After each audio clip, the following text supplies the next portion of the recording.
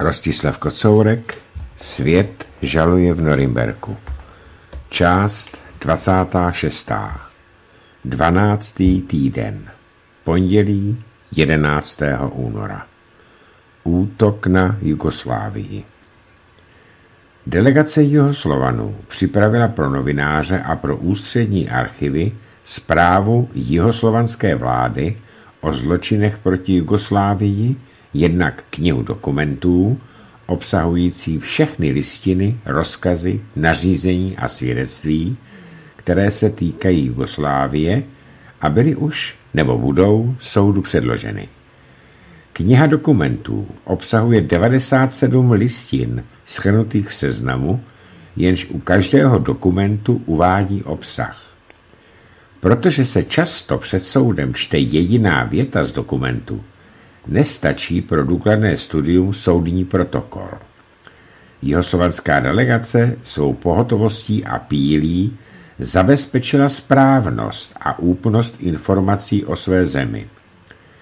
Plukovník Pokrovský je jedním z prokurátorů, kteří zapadají do atmosféry tohoto soudu. Nemluví pro obecenstvo, nemluví pro porodce, mluví pro vybrané soudce čtyř velkých národů.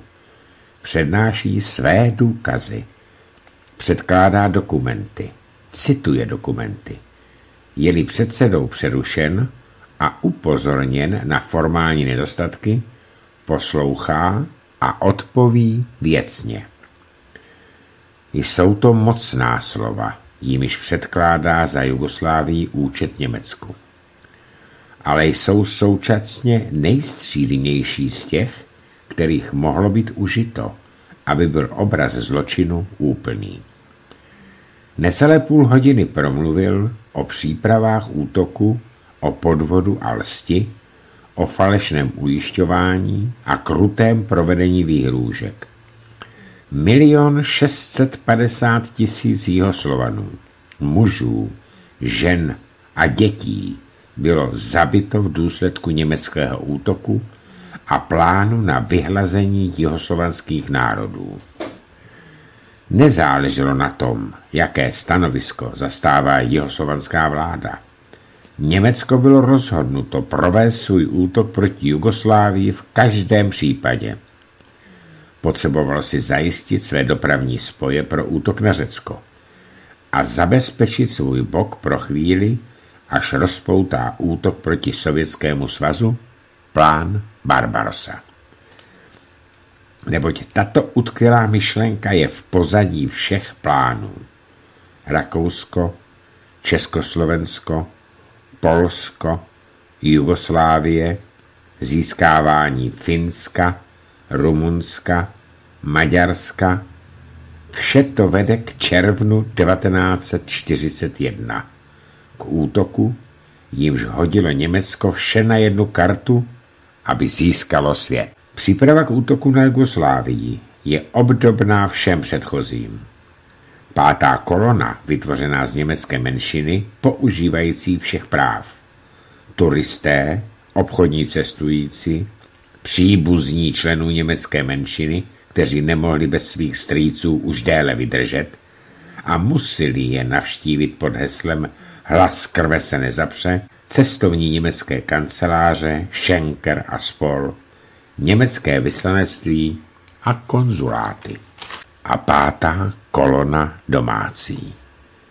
Ustaša, zbor, makedonské fašistické hnutí, teroristické organizace, pěstované v Berlíně z emigrantů, agenti Německa, princ Pavel, Stojadinovič, Činčar Makarovič, srbští centralisté.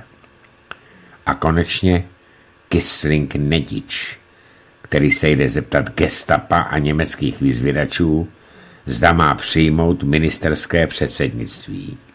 Vypovídá o tom sám. Poznal jsem Kronholce za okupace. Kronholz žil v Jugoslávii jako ředitel dopravní firmy Schenker a Spol. Byl to důležitý vyzvědač. V době, kdy jsem, byl, když jsem ještě nebyl ministerským předsedou. Pokud se pamatuji, přivedl jej ke mně šéf gestapa doktor Kraus. Kronholz naléhal, abych přijal nabízenou funkci. Turner, přednosta civilního správního oddělení při německé komandatuře, mě přijal přítomností svého zástupce, doktora Kýzla, a řekl mi, že mě splnomocňuje v zastoupení generála Dankelmana, abych utvořil autoritativní vládu. V dalších výpovědích odhaluje Nedič styky četníků s Němci a postavení Mihajloviče. Téměř současně s utvořením mé vlády Němci vešli ve styk se skupinou četníků vedených Pešanacem, který se až do té doby skrýval v lesích. I tento styk byl uskutečněn pomocí vedoucího gestapa doktora Krause. Brzo poté přišel Pešanac do Bělehradu, naštívil mě a nabídl mi své služby. Tak se stalo, že moje vláda sformovala své první ozbrojené oddíly. Jakmile bylo vyhlášeno sestavení mé vlády na počátku září 1941, navštívila mě delegace splnomocněná, splnomocněná Dragou Mihajlovičem k vyjednávání. Přijal jsem všechny požadavky a nabídky. Draže dostal peníze a Němci to dovolili. To je zlá věta. Draže dostal peníze a Němci to dovolili. Srbský generál, hrdina, muž, kterého londýnská jihoslovanská vláda a král Petr jmenovaný ministrem války. Dostal peníze a Němci to dovolili. Nedič mluví o své návštěvě u Hitlera. Křičel na mě, že rozkaz postřílet sto jihoslovanů za jednoho Němce je příliš mírný, že by měl být změnem změněn na tisíc za jednoho. A dodal, že je rozhodnut vyhladit všechno obyvatelstvo, budou-li Srbové pokračovat ve své spůrnosti. Útok na Sovětský svaz. Sovětský prokurátor generál N. D. Zoria rozdělil svůj přednes důkazů o útoku na Sovětský svaz ve tři části. Příprava na útok v Německu, opatření zabezpečující tajnost příprav, zabezpečení účasti satelitských států. Zoria naznačil útok na Sovětský svaz jako základní otázku celého fašistického spiknutí. Předchozí agrese byly jen přípravnými fázemi tohoto konečného útoku. Ukrajinské obilí, uhlí Donbasu, manganová ruda Kolského poloostrova a kavkazská nafta, úrodné roviny Povolží a běloruské lesy hrály v plánech Německa rozhodující úlohu. Šli do Sovětského svazu s úmyslem zotročit a využít sovětský lid. Zvířecí nenávist hitlerovců ke slovanským národům našla v tomto útoku děsivý výraz. Německý imperialismus viděl v hospodářském využitkování sovětského bohatství základnu pro uskutečnění dalekosáhlých útočních plánů, hegemonie v Evropě a později hegemonie na celém světě. Známá formule německého imperialismu Drang nach Osten byla v různých dobách různě vykládána, ale vždycky bylo dáváno důležité místo útoku na Sovětský svaz. Na základní myšlence fašistů nic nezměnilo, že začali válku na západě. Neškrtli ze svých plánů útok na Sovětský svaz. Šlo jen o volbu nejvhodnějšího okamžiku pro tento útok. Sami autoři agrese nepovažovali útok na západ za nejlepší začátek. Na konferenci 23. května 1939 řekl Hitler toto. Jestliže nás osud donutí ke konfliktu se Západem, bylo by žádoucí, abychom měli více prostoru na východě. Když se Němci zastavili na březích kanálu, jež nemohli překročit, začali i hned připravovat útok na Sovětský svaz, protože to byla podstatná část všech jejich útočných plánů. 18. prosince 1940 dostala myšlenka oficiální formulaci ve směrnicích, známých jako směrnice číslo 21, plán Barbarosa. Odstneli se na takovém dokumentu podpis vrchního velitelství pravizoria. Je to chvíle korunující dlouhou a intenzivní činnost všech složek vojenské zprávy.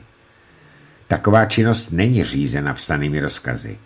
Tajnost, zahalující takovou činnost, činí nutným užít jen ústních rozkazů. Proto se obžaloba neomezí jen na citování dokumentů, nýbrž povede důkaz výslechem svědků, kteří se příprav sami účastnili. Prokurátor cituje z výpovědi generála Waltera Varlimonta. Poprvé jsem slyšel o plánu Barbarosa 2. července 1940. Generál Jodl přijel zvláštním vlakem. Už to, že přijel, bylo mi nápadné, protože nás dosud nikdy nenavštívil. Kromě mne byli povoláni další tři důstojníci. Řekl nám, že se Führer rozhodl připravit válku proti Sovětskému svazu. Odůvodnění Hitlerovo znělo, že válka přijde tak jako tak a že je tedy lépe, když bude spojena s válkou, která je již v proudu. Varlimont později mluvil s Hitlerem. Zamýšlel začít válku proti Sovětskému svazu již na podzim roku 1940, ale musel se vzdát té myšlenky. Strategické postavení vojska nebylo tehdy příznivé. Zásobování do Polska nebylo dobré, železnice a mosty nebyly připraveny, nebyly organizovány spoje a letiště. Proto byl dán rozkaz k zabezpečení dopravy a provedení příprav. Tehdy se ještě neříkalo plán Barbarosa, nýbrž plán Fritz. Ten plán byl Hitlerovi předložen 5. prosince 1940. Byl upraven a vydán 18. prosince. Svědek, který překvapil. Naposled jsme viděli polního maršála Friedricha Pauluse ve filmu natočeném sovětskými kameramany ve Stalingradě. Viděli jsme jej v okamžiku zajetí. Jeho nástup do vozidla s ním jsme viděli pochodující, ploužící se, klouzající německé vojáky na ledových cestách. Pak seděl Paulus za stolem ve světnici domku, v němž mělo stanoviště sovětské velitelství. Odpovídal tehdy také na otázky. Držel se, jak mohl. Ovládal se. Ale nemohl ovládnout křečovité stahování, jež neustále probíhalo pravou polovinou jeho tváře. Za několik minut budeme vidět Pauluse v Norimberku. Bude zase odpovídat na otázky. Vyprosila si jej obhajoba proti své vůli. Podávala námitky formálního rázu proti protokolu s výpovědí Paulusovou.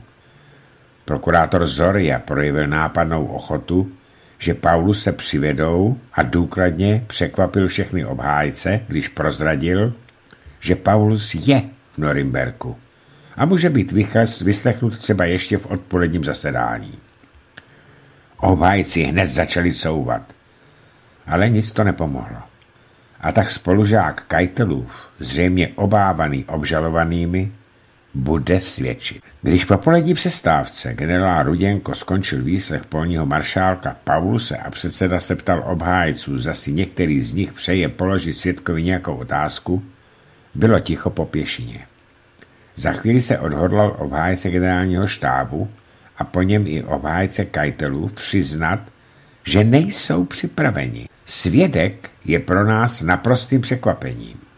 Vzhledem k důležitosti jeho svědectví Žádáme soud, abychom mohli provést křížový výslech až zítra ráno. Předseda říká, generále Ruděnko, jestliže obžaloba nemá námitek, soud má za to, že by této žádosti mělo být vyhověno. Ruděnko, jestliže si tak soud přeje, obžaloba nic nenamítá.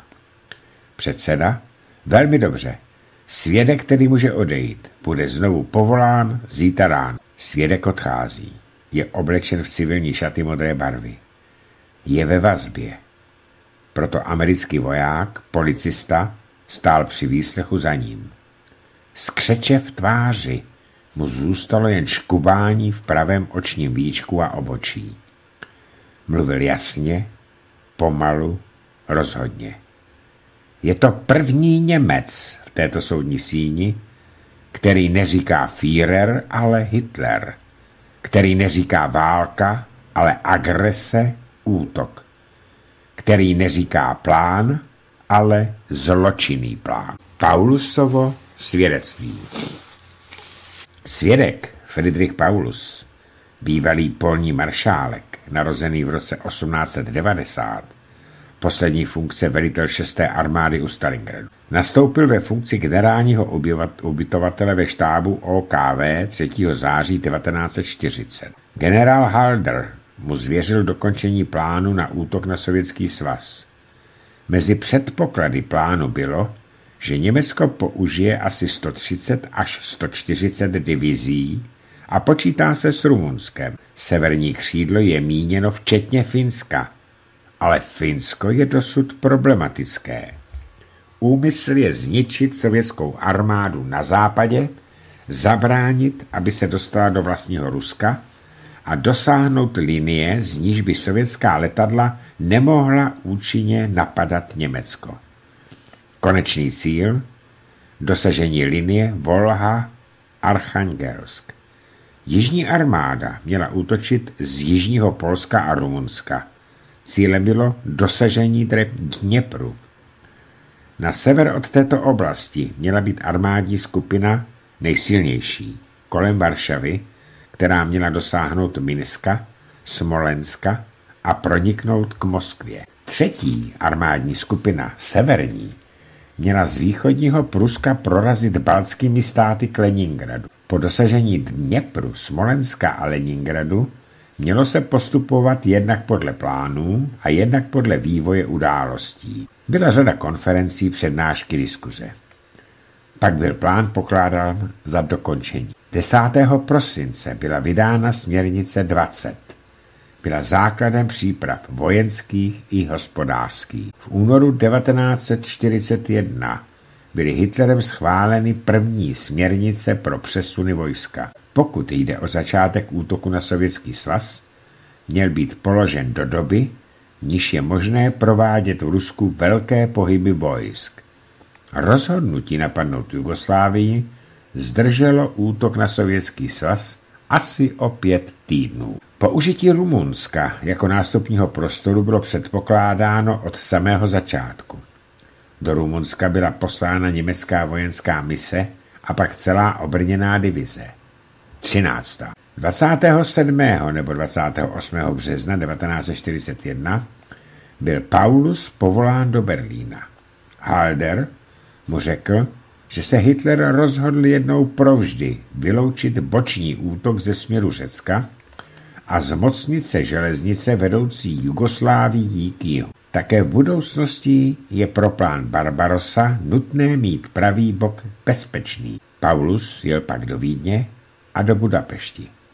V Maďarsku byly diskutovány síly potřebné pro karpatské území, aby byl chráněn týl proti Sovětskému svazu. Hitlerovo stanovisko k Maďarsku bylo opatrné. Maďarsko chtělo s německou pomocí dostat území ztracená v minulé válce a bálo se Rumunska, spojence Německa, aby nebylo zatlačeno do pozadí. to Hitlerovi vyhovovalo, ale nevěřil Maďarsku. Nechtěl mu mnoho slibovat hned na začátku. Když začal útok na Sovětský svaz, dostala 17. armáda důrazný rozkaz, aby se zmocnila petrolejového území za každou cenu před příchodem Maďarů. Hitler s Maďarskem počítal, posílal zbraně, ale nezasvěcoval je do svých plánů. Finsko bylo definitivně zabezpečeno v březnu 1941. Přípravy byly všestrané a podrobné. Nepředpokládalo se však žádné překvapení ze strany nepřítele. O cílech v Sovětském svazu řekl svědek Paulu. Úmysl napadnout linie Volhy, což bylo na cíli Německa, je charakteristickým pro bezmezné ambice Hitlera a nacistického režimu. Svědek pak líčí hospodářské a strategické zisky, jichž chtělo Německo dobít. Hitlerovi velmi záleželo na splnění hospodářských cílů této války. Svědek cituje jeho slova z 1. června 1942, pronesená v diskuzi o armádní skupině jižně od Poltavy. Nedostanuli olej z Majkova a Groznyho, mohu hned této války nechat.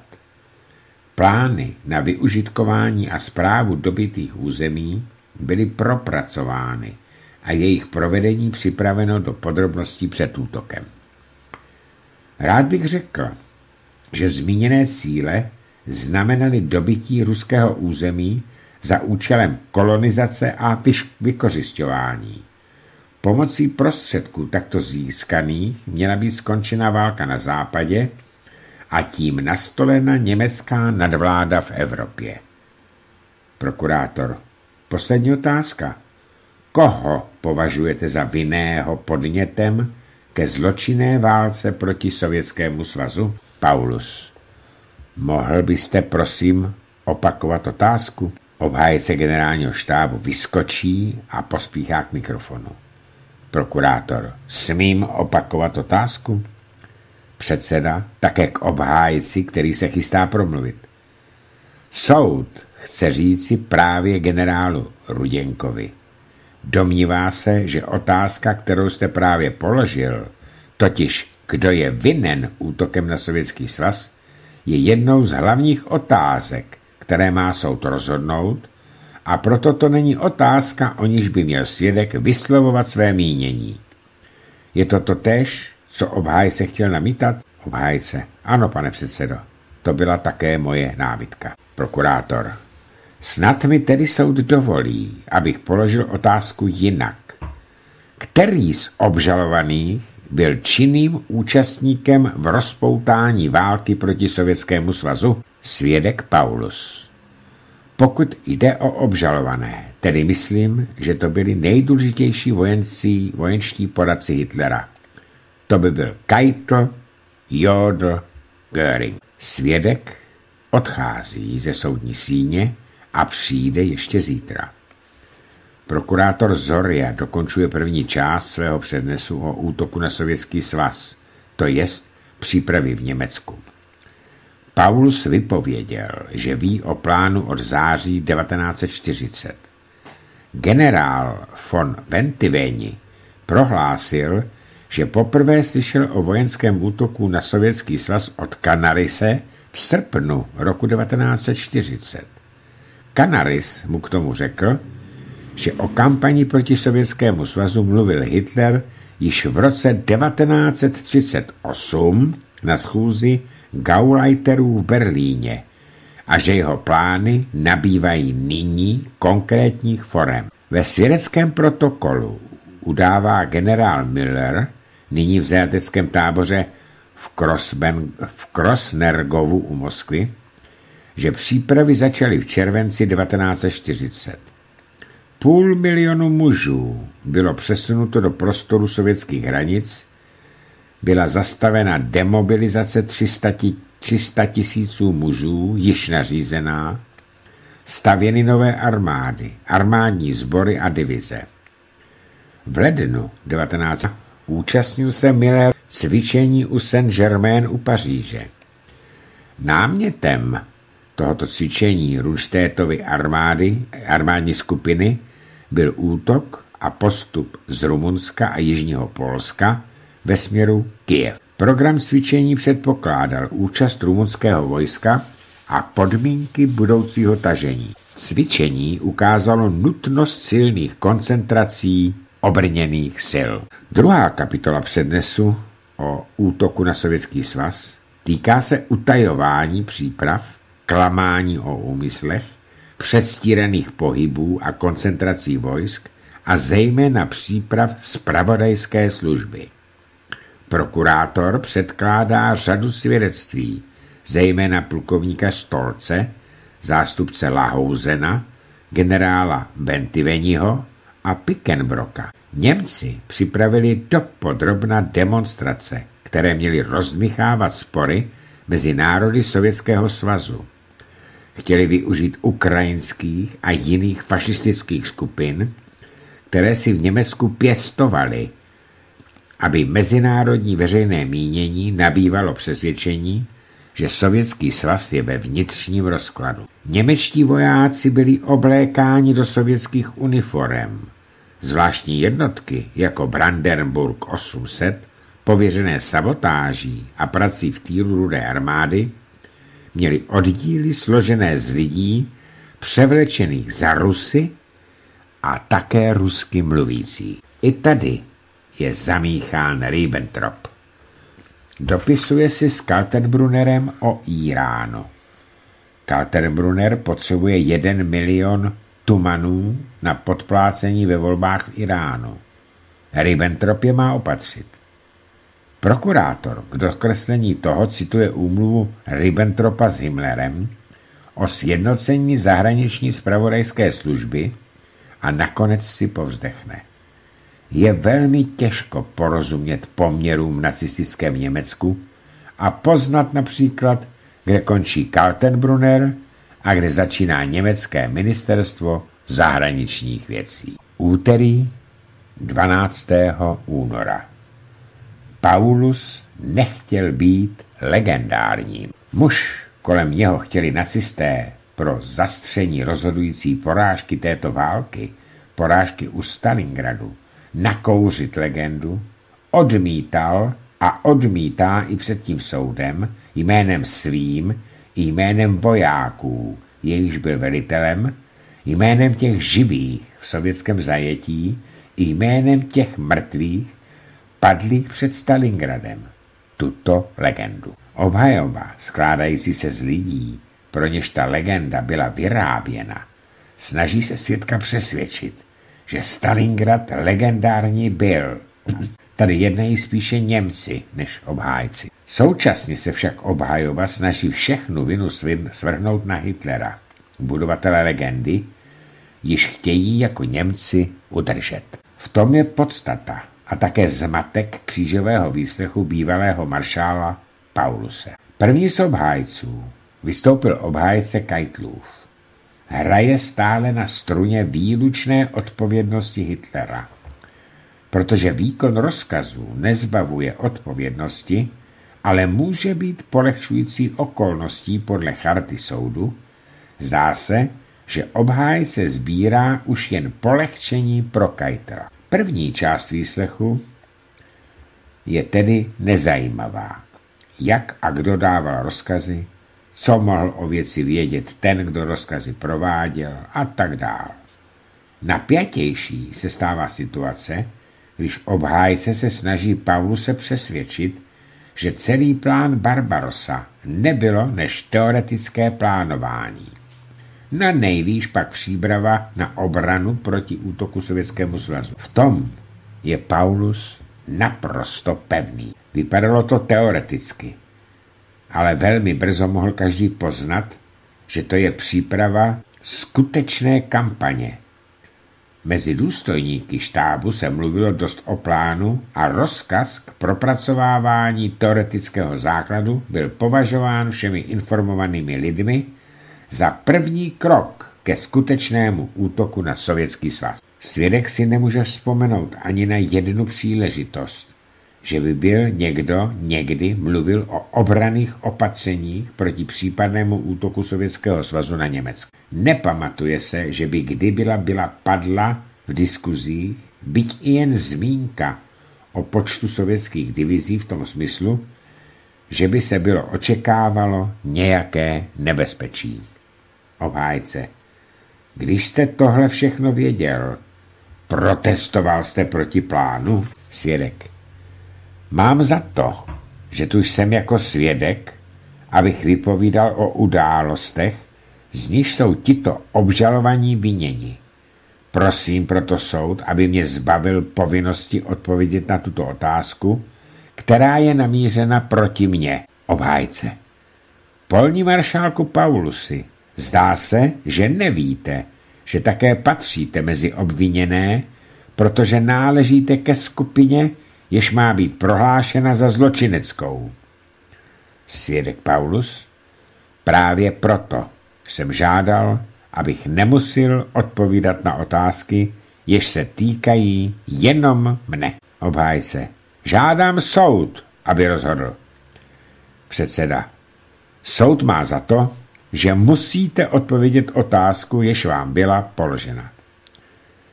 Svědek pak odpovídá, že o tom mluvil s Halderem. Halder byl totožného názoru a měl námitky jak z vojenského, tak morálního důvodu. Obhájce. Přijal jste velení šesté armády u Stalingradu. Měl jste vážné námitky proti tomu, abyste se stal nástrojem útoku, který byl podle vašeho mínění zločinným? Svědek Paulus. Jak se tehdy jevila situace vojákovi, zejména ve spojitosti s mimořádnou propagandou, jež byla rozvinuta, měl jsem tak jako mnozí jiní tehdy za to, že musím vykonat svou povinnost vůči vlasti. Obhájce. Ale vy jste přece znal skutečnosti, které mluvily proti tomuto přesvědčení. Svědek. Skutečnosti se mně staly jasnými až později, až po zkušenostech jako velitele šesté armády, které vyvrcholily u Stalingradu. Neznal jsem předtím mnohé.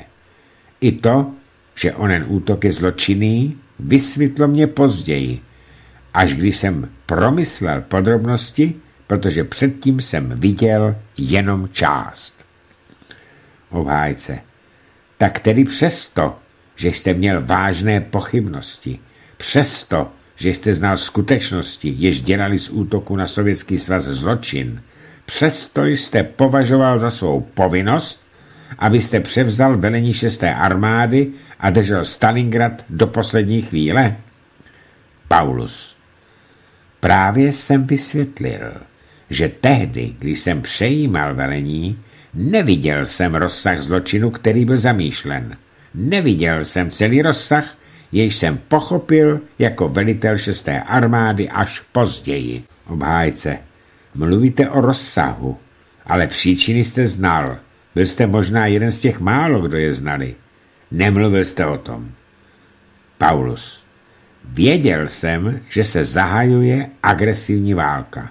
Tehdy, tak jako důstojníci, jsem prostě pokládal za skutečnost, že není nic neobvyklého, jestliže politika říše je postavena na mocenské základně. Obhájce. Tak proč jste tedy souhlasil s těmito ideologiemi? Paulus. Ne, ne, ne s tendencí, jež byla vidět až později, ale tehdy jsem nevylučoval, že také osud vlasti může být založen na mocenské politice. Byla to chyba. Nevěděl jsem, že ve 20. století jen demokracie a uskutečnění národního principu jsou důležitými činiteli. Obhájce. Věříte, že také druzí, kteří nebyli tak blízko upramené jako vy, jednali v dobré víře, že chtěli pouze učiniti pro vlast co nejlepší? Svědek? Věřím. Obhájce? Nemám dalších otázek. Před mikrofon přestupuje obhájce Širachův a Funkův. Čte z Paulusova dopisu, zaslaného 8. ledna 1946 vládě Sovětského svazu. V něm Paulus píše Dnes, když jsou souzeny zločiny Hitlerovi a jeho pomáhačů, pokládám za svou povinnost, abych řekl všechno, co vím a co by mohlo prokázat vinu na zločinech, projednávaných v norimberském procese. V témže dopise mluvil svědek Paulus o Hitlerově vládě. Obhájce chce vědět, co jeho klienti měli společného s útokem na Sovětský svaz. Svědek říká, že neví. Obhájce. Když byl Stalingrad obklíčen a situace se stala beznadějnou, bylo od Stalingradu posláno několik telegramů vyslovujících oddanost Hitlerovi. Co o tom víte? Svědek. Vím jenom o jednom telegramu. Ke konci. Snažili jsme se dát zprávu o katastrofě, jež se tam odehrávala. Snažili jsme se najít pochopení pro všechno to utrpení a umírání tolika vojáků a proto to bylo v telegramu označeno jako hrdinství. Lituji, že jsem tehdy, v důsledku celé situace, nechal ten telegram projít a nezastavil jej. Obhájce. Telegramy byly posílány vámi? Svědek. Nevím, o jakých telegramech mluvíte. Vím jen o tom posledním. Obhájce. Mluvím o několika telegramech, v níž jste sliboval, že vydržíte až do konce, do posledního muže. Do tě, do, o těch telegramech, jimž německý lid nemohl porozumět. A byl na nich váš podpis. Svědek, chtěl bych, abyste mi je ukázal, protože mi o nich není nic známo. Nevím o nich vůbec nic. Obhájce, nevíte o nich nic? Paulus, nevím nic o těch telegramech, o nichž vy mluvíte, jen o posledním. V tom byl stručný popis toho, co armáda vykonala a bylo řečeno, že to neznamená kapitulaci, že to bude příkladem pro budoucnost. Obhájce pak vytýká Pavlusovi, že ve zprávě sovětské vládě o osudu sovětských zajatců, v nichž prohlásil, že přijímá odpovědnost za to, že neprováděl dohled a za to, že v důsledku toho mnozí zemřeli, nezmínil se Paulus ani slovem o statisících německých vojáků, kteří pod vaším velením ztratili svobodu, zdraví a život. Ani slovo o tom, pane maršále, není. Paulus. Toto není tématem tohoto dopisu. To je dopis sovětské vládě, týkající se osudu sovětského obyvatelstva v oblasti, Stalingradu a ruských válečných zločinců. Pardon, ruských válečných zajatců. Na tom místě jsem nemohl nic říci o svých vojácích. Ovšem, že ne. Obhájce ani slovo? Paulus, ne. K tomu byla jiná místa. Všechny ty operační rozkazy, které vedly k podmínkám před Stalingradem, všechny ty rozkazy, proti nimž jsem protestoval, přivodili kolem 20. ledna situaci nesnesitelnou.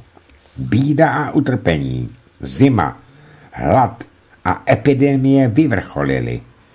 Pokračování v boji bylo nad lidské síly. Odpověď však zněla, kapitulace je vyloučena. Šestá armáda vykoná svou historickou povinnost u Stalingradu do posledního muže a usnadní tak vyrovnání našich linií na východní frontě. Výbor svobodného Německa. Obhájce Jodlů se také zajímá o Stalingrad. Chce vědět, proč svědek označil Kajtla a Jodla za odpovědné za rozkazy zakazující kapitulaci a dostává odpověď, že odpovědnost nese OKV. Obhájce.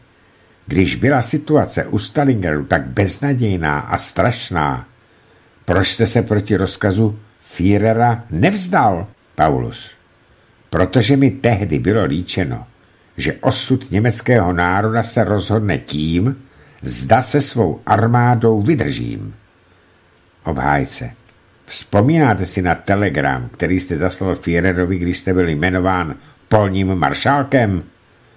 Paulus. Neposlal jsem tehdy žádný telegram. Po svém povýšení jsem žádný telegram neposlal. Obhájce.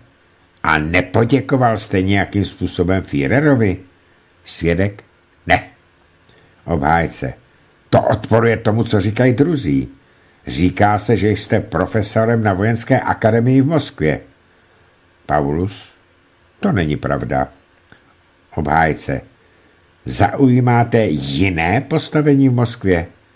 Svědek, v Rusku jsem před válkou nebyl, ale nyní jsem tam ovšem byl jako válečný zajatec v zajateckém táboře, jako moji kamarádi. Obhájce, byl jste členem výboru svobodného Německa? Paulus vášnivě a pohnutě.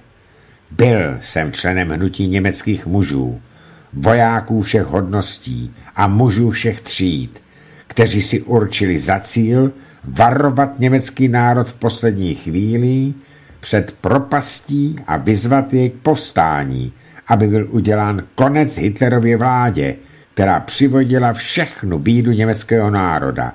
Udělal jsem to proklamací z 8. srpna 1944. Obhájce. V srpnu 1944? Paulus. Ano. Obhájce. Udělal jste něco předtím? Paulus. Ne. K této otázce se vrací v podrobnostech obhájce obžalovaného, obžalovaného Ribbentropa. Obhájce. Řekl jste, že jste byl členem skupiny, která měla za cíl odvrátit zkázu od Německa. Táží se vás, jaké jste dostali možnosti pro sebe a ostatní? Paulus. Měli jsme možnost být slyšeni německým lidem. Nejen po událostech vojenských, ale také po 20. červenci jsme se domnívali, že je naší povinností seznámit německý lid s naším pojetím věci, názorem utvořeným na základě toho, co jsme objevili a s naším přesvědčením, k němuž jsme došli. Této spojitosti je třeba říci, že podnět přišel zejména z řad těch, jimž jsem velel u Stalingradu. Měli jsme zkušenost, jak na základě rozkazů vojenských a politických vůdců, kteří se odstnou v čele státu, více než 100 tisíc vojáků zemře mrazem, zimou a ve sněhu. Tam jsme dostali zkušenost, co je to dobyvačná válka ve velkém měřítku. Obhájce, měli jste jiné prostředky kromě propagandy? Paulus. Kromě možnosti dělat propagandu pomocí rozhlasu a novin, které jsme založili, kromě této propagandy k německému lidu jsme jiných prostředků neměli. Předseda co má s tím vším společného tento soud? Obhájce. Chtěl jsem jen dospět k názoru, jakou důvěryhodnost mohu přiznat svědkovi. Předseda. Nevidím žádného důvodu proti důvěryhodnosti svědka. Obhájce generálního štábu se zajímá o podrobnosti útoku na Jugoslávii a páčí ze svědka údaje o síle Sovětského svazu před útokem. Svědek neví. Obhájce mu tedy klade otázku tak, aby mohl sám říci, že tehdejší síla sovětské armády je pro potřeby obhajoby stanovena na 100 pěších, 25 jezdeckých a 30 mechanizovaných divizí. Jednu z otázek obhájcových soud nepřipouští. Jak jedná sovětský svaz s německými válečnými zajatci? Paulus už začal odpovídat. Tato otázka kolem níž se udělalo neuvěřitelně mnoho propagandy, která vedla k sebevraždě tolika německých důstojníků u Stalingradu, důstojníků a vojáků. Cítím povinnost. A to je vše, co jsme se dozvěděli, protože soud rozhoduje, že ona otázka nemá ani co dělat se žalovanými zločiny, ani není rozhodná pro věrohodnost svědkovů. Obhájce vykládá, že důvodem k této otázce byl ohled na německé rodiny, jejich členové jsou v zajetí. Jsou plny starostí a obhájce jim chtěl touto cestou opatřit informace a úlevy. Předseda. Soud je toho mínění, že tato věc se tohoto soudu netýká. Obhájce Fričů získává bod, protože se Pavlus vyjadřuje o jeho klientu příznivě – i když si nemůže vzpomenout na událost, již obhájce líčí.